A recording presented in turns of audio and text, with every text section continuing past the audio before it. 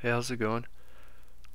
So, if you open up the project folder, if you're even following along, or, you know, with ever whatever project you have, um, if you're using idle as your IDE, then, or if you want to, what you can do is you can right click on a .py file and uh, if you're using Windows and go to open with and then come down to choose default program and if you come up here if you look at your um, idle shortcut in your start menu then you'll find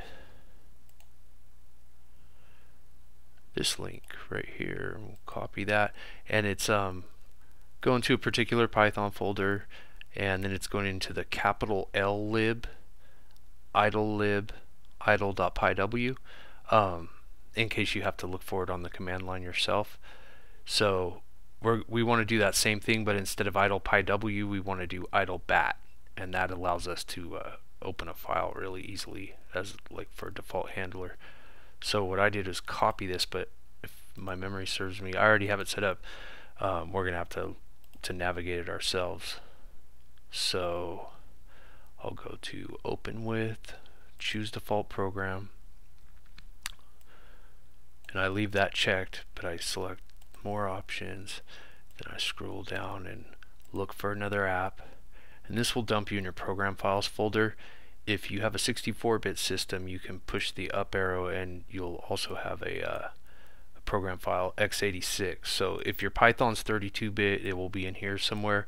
If your Python's 64-bit, then it will be in this regular program files. And if your Python's older, um, then it will probably just be like C colon backslash. It'll just be on the regular C drive like that. So anyway, mine's in here in the standard 64-bit program files under Python, um, Python 37. And then if you go into that capital L lib, then idle lib, and then select idle bat. And that's the one you want. And so that will register this um, idle environment as the default handler for .py files if you just double click them in Windows. So it's up to you if you want that convenience. And then if you have a whole project folder like this, like I have this new calc folder, I can just highlight all these files and I could hit enter or right click and just hit open and then they'll all pop open in a in an idle window like that and then I can just close this folder. Alright OBS. Okay, and then for each one of these, we can just um, we can maximize it. So I'll just hit Alt space X on each one. That way it's just a little bit more consistent and nice to look at.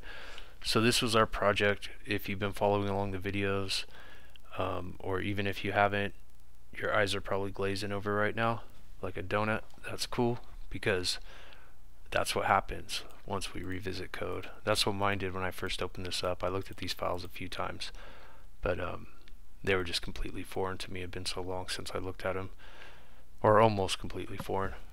So anyway, just to kind of reintroduce it, this calc.py is the main entry point. Um, you can also see the name right there.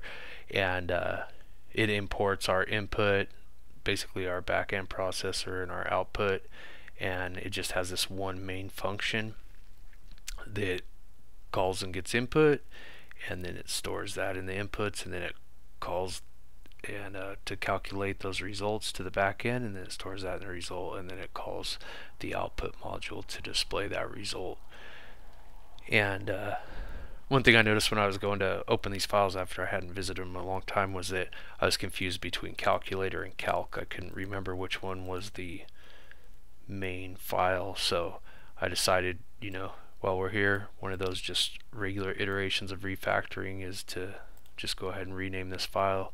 So I'm going to rename it to main.py and nothing else really depends on this so save as.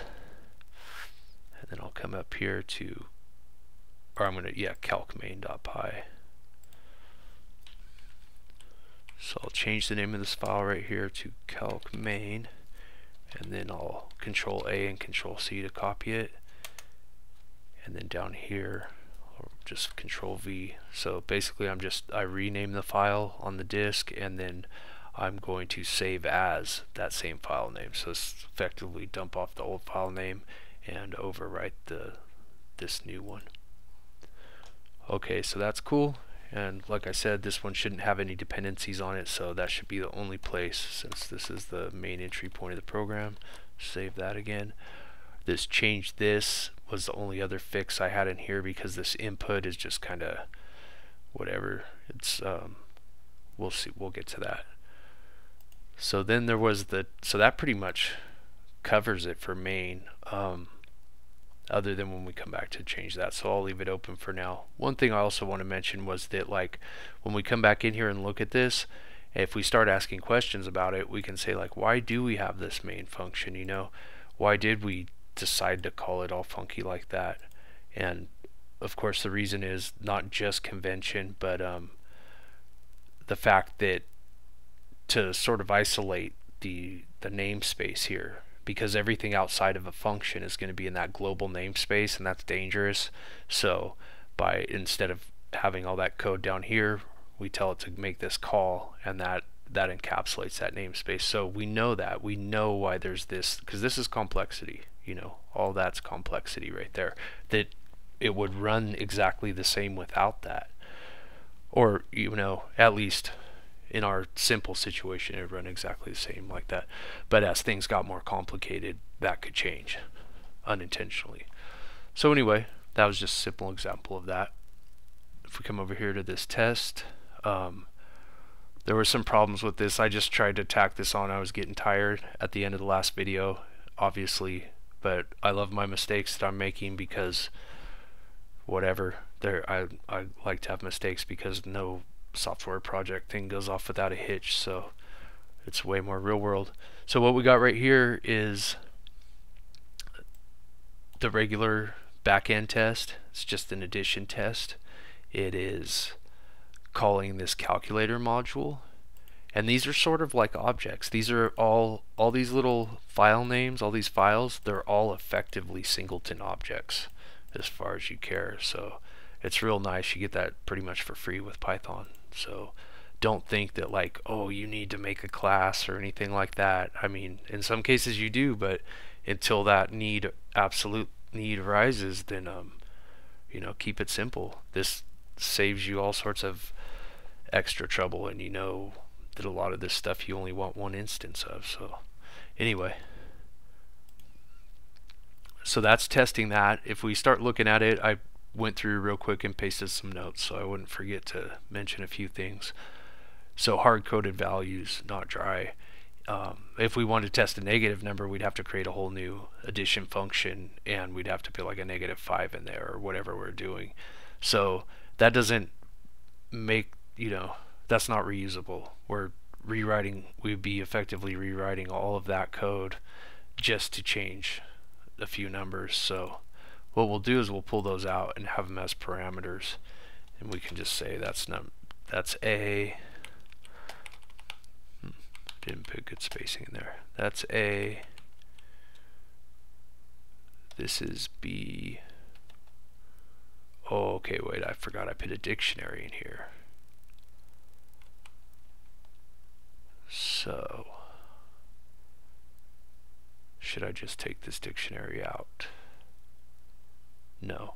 I'm going to leave the dictionary in because if I were to change that, if I just pass simple primitive values as the parameters, then that gives me less reason to change, I think, because it's just literally a few simple values. And if I were to do a dictionary, then if I change this to an object, say, then I would have to change the parameters for the test. But if I change it to a an object behind the scenes, I can just come in here to this one test, change this to an object if need be, and go ahead and approach it from that route. It's all trade-offs, it's all considerations. For some reason you might choose the other way, but just I say simple and dry are the best choices to make, so we'll go ahead and do that. So that's going to pass in an A and a B and a C.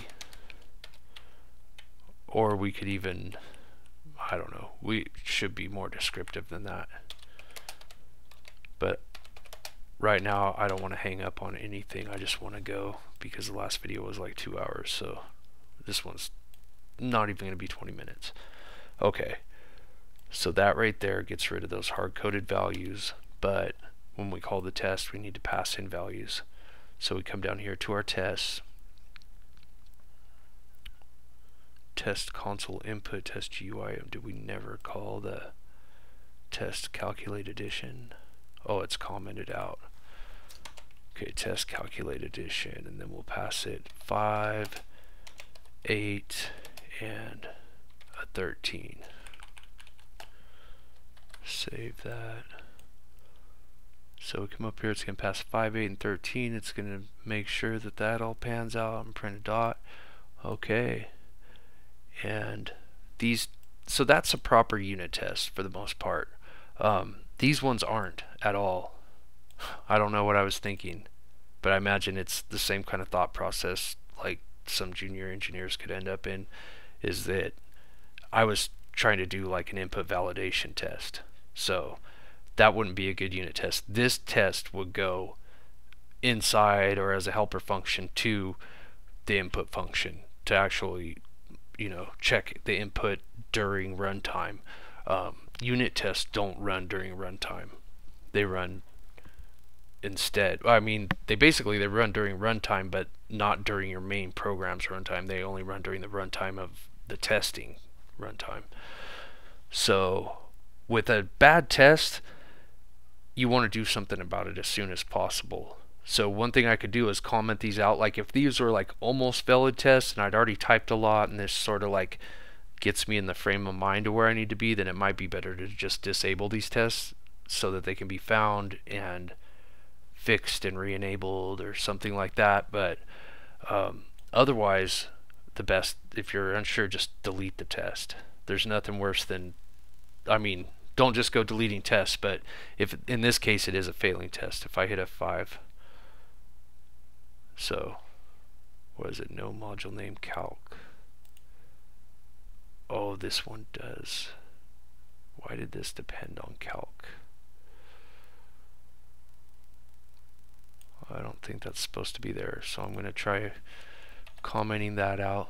A lot of times I'll use comments as like sort of like a deprecation step. So right here I'm just commenting it out so that if it breaks something, I can just come right back and uncomment it.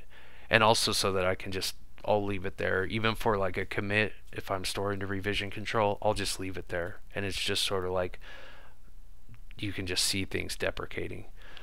Okay. And like I said, it's good to come back and be able to just flip that switch. So right here now we're getting a little further and you can see the dot so the first test it ran past and then we're getting tracebacks and failed tests so alt F4 to close that window and if we come down to our actual you know this is just the definition of the tests all right here this is importing dependencies up there and right here is the actual running of the tests which ones we want to run. So this first one runs fine. Down here is where it starts crashing, this test console input, test GUI input. So if we come up here, test console input, test GUI input, like I said, these aren't even valid unit tests, so I'm just going to grab them and get them out of there. And save that, and then I can come down here and get rid of them there, and save that, and then of course we want to run test it, make sure we didn't break anything more than we intended. Oops, what am I doing? Oh, it just ran the one test and passed it. And it shouldn't have, that's another thing with the uh, unit test is I shouldn't have to be doing input. That's not a proper unit test. That's like a user acceptance test or just a manual test through a user interface. Um, but yeah, unit tests are supposed to be automatic, so that's good. I'll run it one more time so you can just see run bink, little passing dot, done. Okay, what do we have down here? So the test calculator, make test calculate, we're to skip that top one for now. Um, dry with params, we did that, that worked. Okay. Let's do that, save it. We're making improper unit tests, we'll get rid of that. And let's go ahead and um, throwing a test for like a different, like a negative number situation or something. And this is sort of arbitrary. Like I wouldn't just do like this for nothing, but it would be anything that you'd want to think of that you'd want to test this against, you know. So if it's a decimal number like a 5.5, like let's it's not really a good idea to like double them up like this necessarily all the time. Like I'm doing a negative and a floating point value, but um if you were to do one or the other and then both maybe that way you could find out like if it's just one thing is causing the problem. Okay, so let me run that. Trace back. Da, da, da, oh yeah. The answer. So that's a good failing test, and that's more like uh, test-driven development. You want to write the failing test first, but without getting too much into that. So on my hand calculator right next to me, or on the screen actually, I'll just punch it in and make sure I get it right. And that's going to be 5.5 negative plus 8 equals 2.5. So that should equal 2.5. I'm going to save it and run it. Two dots. There we go. File. Close. So we could also, for those dots, we could tell it um, and equals if we want. And whether or not you consider this dry or not is up to you. I mean, technically you could make a function called test pass or something like that and it doesn't take any parameters and it will automatically print a dot and take care of all that for you. But whatever feels easiest to you, don't do any more than that.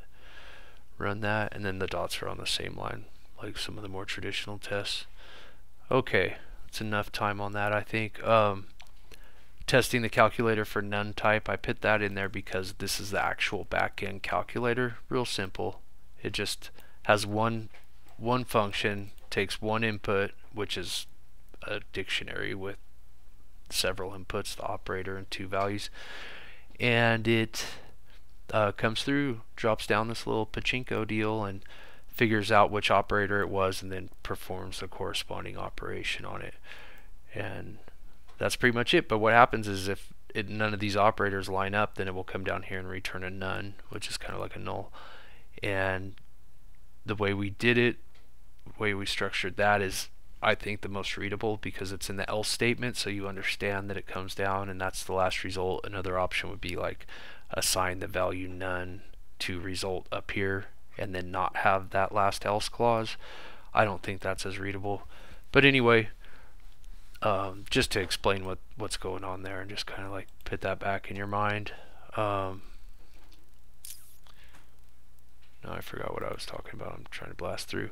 So this is the output should return true here. So that was one thing in the test is that like we're going to test this um, that something returns true from output display something. That's weird. It doesn't return true, but it does. I guess not returning a value is the same as returning true. Let's see what happens if we are explicit about it. Or let's return false and see if that makes the test fail. Test. No. So that's bad. Assert. Display something returns true. Hmm.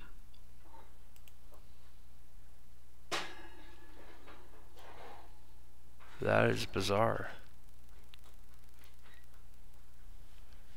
I don't know if I'm just, I must not be seeing something totally obvious. Oh, is it going to print, is it not running the assert statements? It's running the assert statements, right?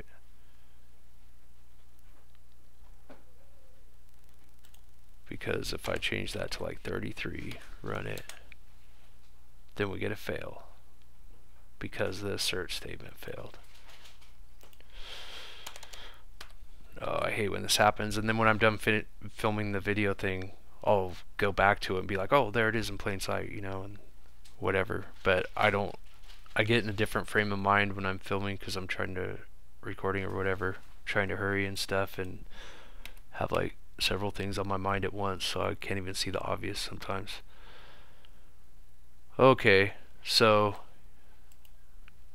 this is really horrible. I shouldn't even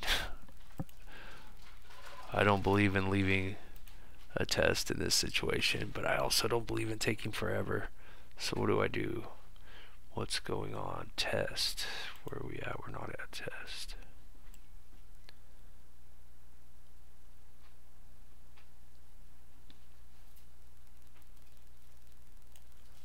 One thing I could do is just highlight those and hit F1. That will take me to the pretty much official Python documentation. Oh, apparently it doesn't look it up, but whatever. We just type assert. I'm in the second tab over in the index, and then we can kind of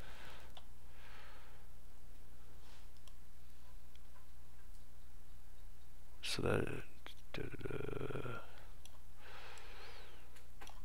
da. okay anyway.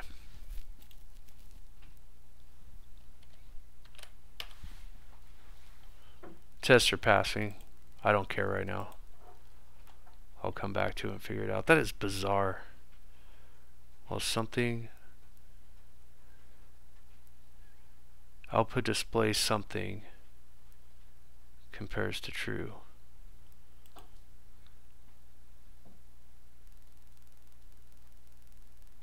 I have that just feeling in my gut where I want to say dumb, you know, like dumb, what is going on here? It doesn't make any sense. Like assert that that equals true, assert that that equals C.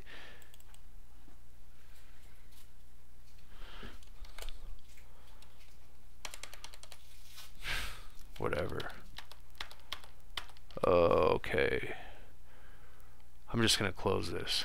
I'm over it. Okay. Then we get into here. This is the output and I'm like I said before, I'm just taking baby steps, so some of this seems really dumb, but it's to go through the motions and like actually show the reasons why we hop, skip, and jump and stuff like that instead of just like, oh, that's what we do, you know, it's like, okay, here's the reason we do that, you know, like here's a tangible reason that happens every time or whatever.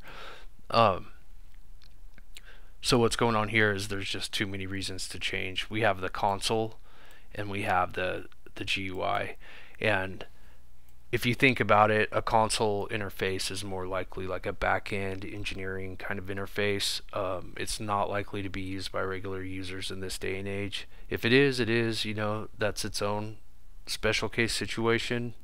But I think even these general ideas still apply even in that situation. And that's to just start separating this stuff because it is getting complex. It's like when I opened this, this was one of the files that was like, whoa, I had to sit there and think about it for a minute. It's importing some GUI stuff up here, setting a GUI flag to true as opposed to the console. So that's basically like making all that code bunk, you know, just worthless, but it's there in memory. And uh, instead it's coming down and dealing with some of that. And then down here it tests for which one it is. So without getting too complex, I just, like I said, with the deprecating stuff by putting it behind a comment, I'm just instead of deprecating this, I'm going to just sort of move it and shift things without getting too complex, but just make this a little bit more readable for the moment and kind of like show that things are sliding off here. So I'm going to cut this out and come down below all this and then I'm going to put a comment down here which is a code smell right so um, so that's good this code smell is saying hey you're going to want to probably like do something with this. You should either, you know, since it's already in a function, it probably needs to go into a console input file. But anyway, for now, that will work. So that's what we did for now. And we put it towards the bottom. We can get rid of those two. And then change the name of this module from input to user input because that input's kind of vague it's like, well, what kind of input is that?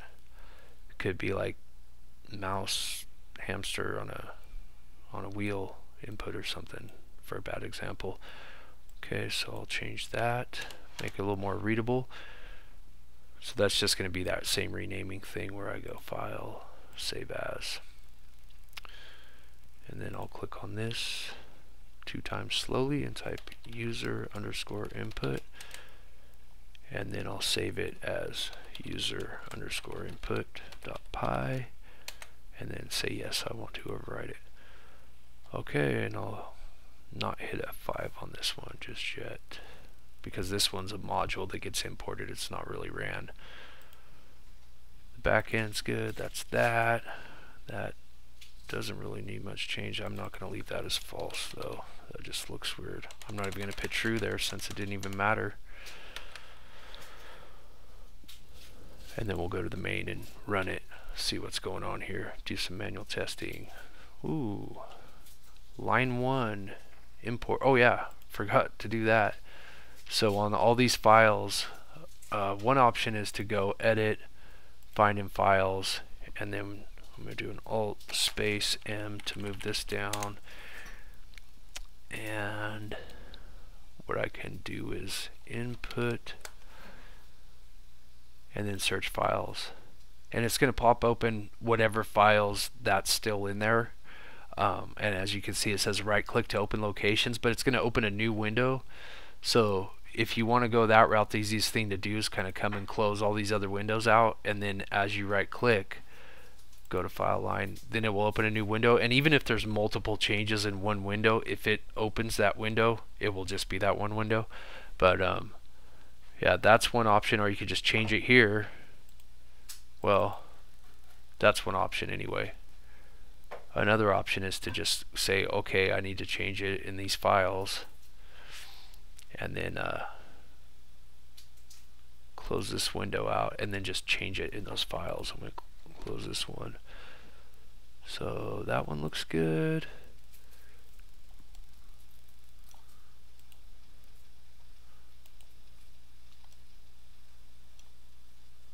Whoa, where'd everything go? So edit, find in files, input.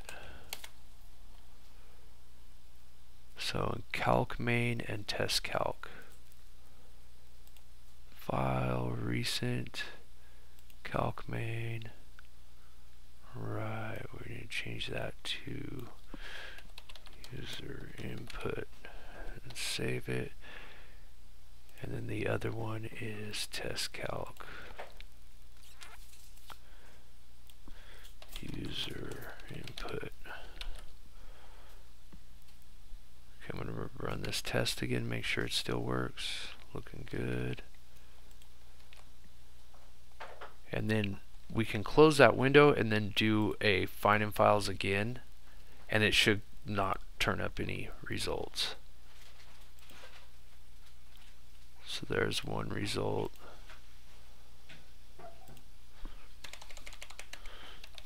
User input. And we'll just do that one more time. Edit, find in files. No hits. That's what we're talking about. Okay, so let's run this.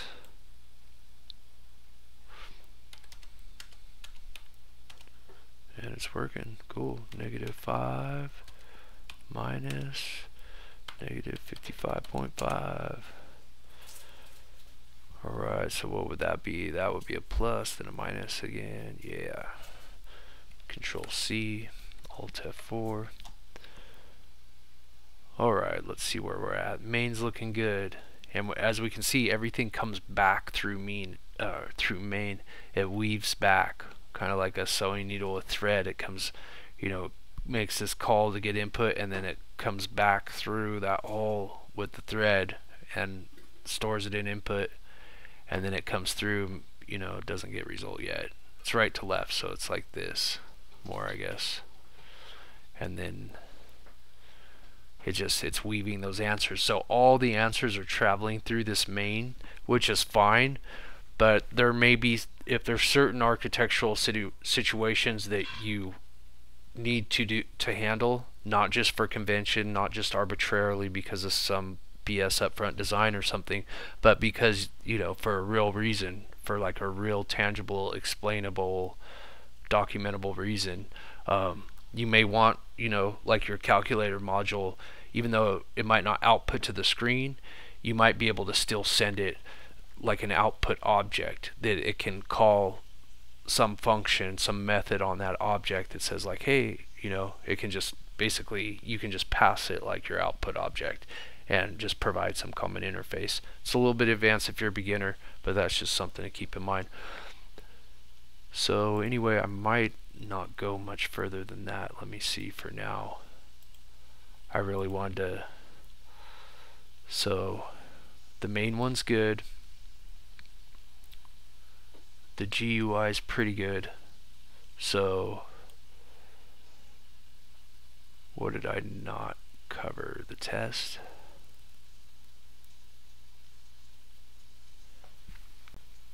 So what you can see here is this is this is the output module and it's eventually going to be split into two files. And what this file will become is it will become basically something to this effect of like just interface. It's just going to be like a shim to decide just as sort of like a common element, you know, like if you almost just like I'm trying to think of a good analogy. But it's just fulfilling what they call a contract And if you look in certain types of development, there's like this strict quote unquote contract. I'm using it in a little bit looser terms than that. Um, but it's just basically like we want to be able to provide whatever physical, like whatever one of those singleton module files, like we want to be able to potentially provide like a hundred of those, right? Ones that we can't even think of now. Um, but all we need to do really is put this in between as sort of like an interface. Like our thing can talk to this file. Um, there's a zillion different ways to handle this, or realistically, there's several different ways to consider handling this, but that just seems the simplest way to wrap about for now. But yeah, I'll just leave it at that for now. That's a little bit less than I'd like to get done, but hey, that was productive, and the next time we revisit this code, it will be even that much cleaner. Thanks a lot for watching.